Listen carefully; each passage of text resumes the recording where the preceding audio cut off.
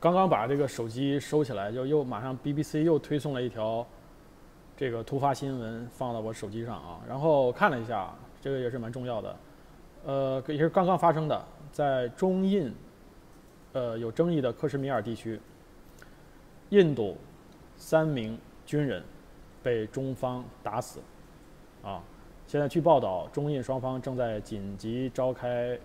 这个军方的会议，在磋商这件事情。避免这个局势进一步加剧。呃，现在呢，我看到两条来自不同的消息源的报道，一个是 BBC，它只是说了是三名印度军人，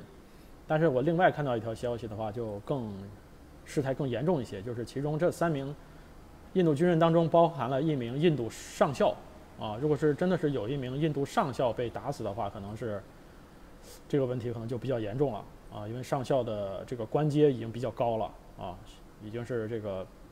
属于高阶军官了啊，高阶军官了。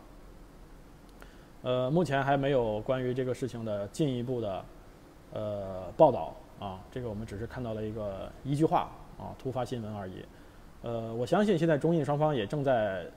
密切的接触啊，因为本身中印在边界问题上这一个月左右吧，呃，事态也不断的升级。据这个新闻报道呢，双方也都在边界，就边境这个地方呢，也都在增兵，啊，呃，但是我个人还是不相信这个最终会引发这个两国之间，因为边境之间的战争，大规模战争应该是不会引发。但是今天这条印度有三名军人被中方打死这条突发新闻呢，不知道会不会对最后的这个中印解决边境问题产生一些变量。嗯，产生一产生一些不确定的因素，呃，我们要拭目以待。这条新闻我们会持续跟踪啊，大家也可以上网搜一下啊，看有没有其他的更详细的这方面的报道。